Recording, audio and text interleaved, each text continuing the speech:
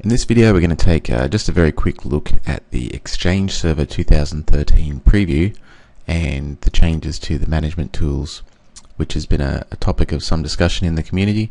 The Exchange 2013 preview uh, was released publicly and uh, a lot of people are discussing the changes and the move away from a graphical administration uh, console or a GUI that's based on uh, the MMC technology and moving to a web-based administration console. So I'm just going to show you which management tools are available in Exchange Server 2013 preview.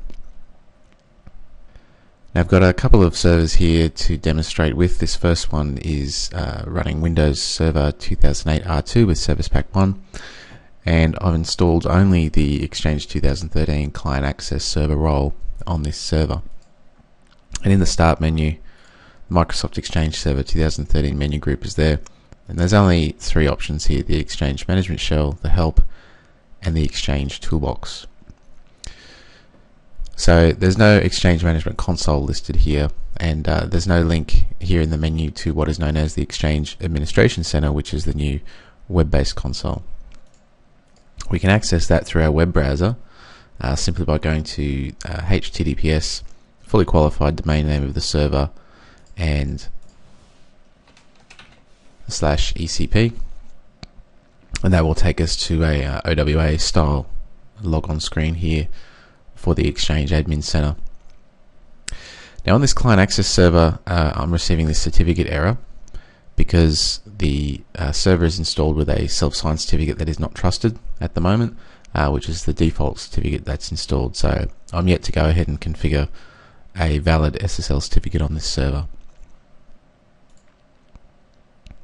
Over here on my other server, which is running Windows Server 2012 uh, release candidate, I've also installed Exchange Server 2013 Preview, uh, but this time I've installed both the Client Access Server role and the Mailbox Server role. So once again we can see that only the Exchange Management Shell and Toolbox have been added to the menu. And if we want to access the Exchange Administration Center we need to do that through Internet Explorer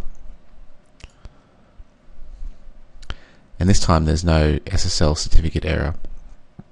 And that's because the mailbox server role is installed also with a self-signed certificate, uh, but one that is automatically trusted. So we can log into the Exchange Admin Center with uh, my admin credentials.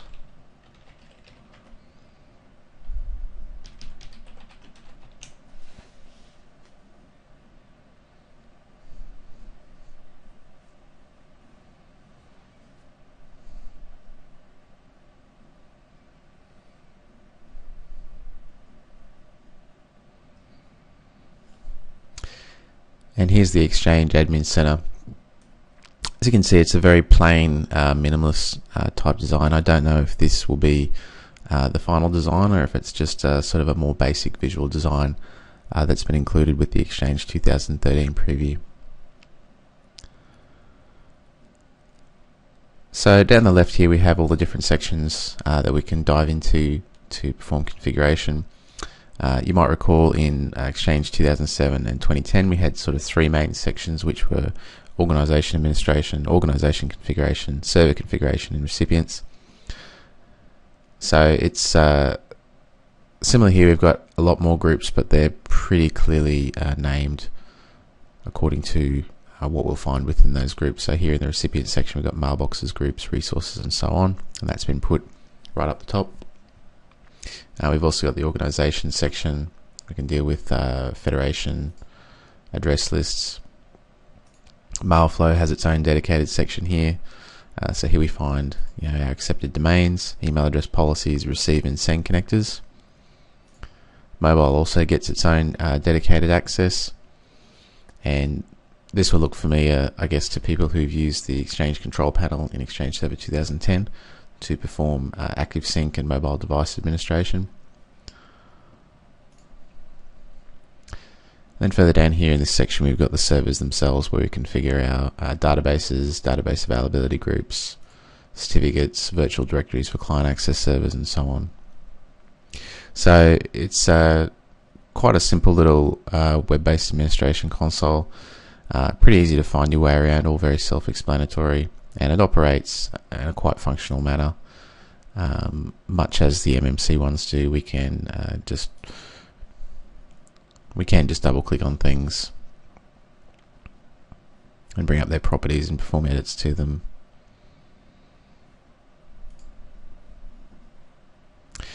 So apart from the Exchange Admin Center, we also have our usual uh, PowerShell based uh, administration here. This is PowerShell 3 based, so um, there's a lot more, uh, there's some new features in PowerShell 3 that would be interesting to dive into. And also uh, one MMC style um, administration tool which is called the toolbox. And this is where we find just a link to the remote connectivity analyzer uh, the traditional uh, graphical queue viewer and also tracking log explorer. So you can see things are quite different now with uh, exchange server 2013 preview getting rid of the uh, the big uh, and frankly the old and slow MMC style uh, exchange management console replacing it with this new exchange administration center and also giving us all that powerful uh, PowerShell functionality enhanced with PowerShell version 3.